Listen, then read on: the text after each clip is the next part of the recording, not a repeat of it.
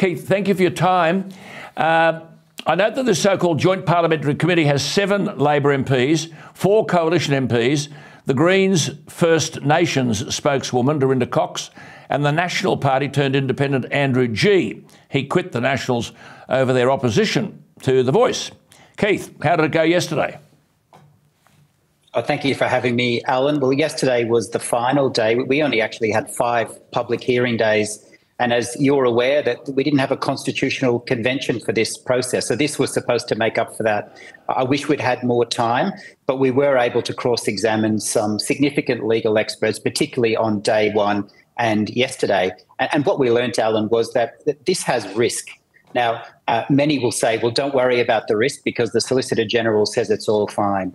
Uh, but, but, he's one person. He won't be sitting on the future High Court. Well, he, he may have aspirations to do that. But, but many judges on the High Court uh, passionately agree mm. on putting their view forward. But in the end, they may be in the minority.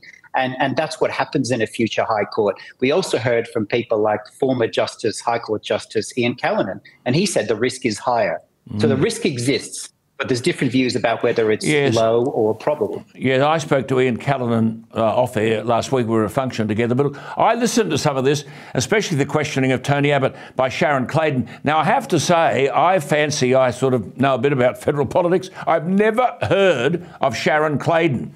She's been the Labor member for Newcastle. Sharon, where have you been for 10 years? See, Keith, I'm at a loss to understand what there is to examine.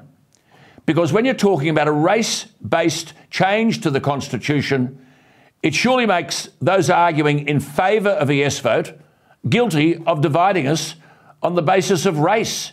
Who on earth could support that? Well, and to be fair to Sharon, I, she is the, the, deputy speaker, and I found her to be a very competent deputy speaker. I enjoy appearing before her. Um, very good. Look, there's three ways. My apologies to you, Sharon. Three reasons. That's all right. There's three reasons why you might have suspicions about the proposal. Uh, one is the principle of equality of citizenship, and you're right. There's there's very little that can be done to the words that will address that. You either think that's a principle that will guide your vote, or you don't. There are those that think, well, this will not shift the dial on Indigenous disadvantage. It will be another layer of bureaucracy. And again, the wording doesn't really matter there. But there's a third reason, and that's constitutional risk. And not every Australian is motivated by that, but, but a lot are. And, and right now, there is serious risk, particularly in the voice to the executive, as it's worded in part two.